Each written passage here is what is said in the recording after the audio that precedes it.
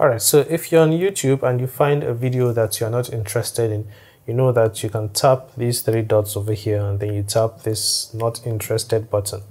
So in this video, I want to show you where those videos go. But just to lower your expectations this early, YouTube does not show you the list of videos that you have set to like the uninterested section, dungeon or pit.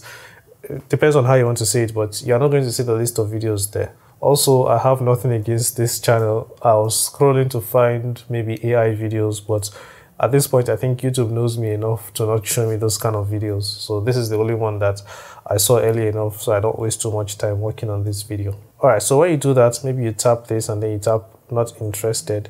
You can see YouTube will see um, video removed. So it's going to make sure that videos like that no longer appear on your feed and maybe you accidentally did that so here's what you can do to reset everything. So you tap your profile picture down here. Mine is dark but uh, this part that says you you tap it.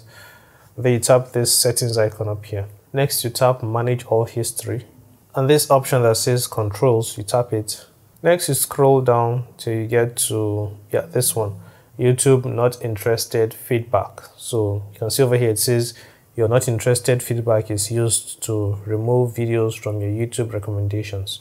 So if you want to get rid of all the videos that you have put there, you just tap delete and you can see what it says. This will delete your not interested feedback and may result in YouTube suggesting videos you have previously marked as not interested. So just tap delete and that should be all. I'm probably not going to see the video if I go back.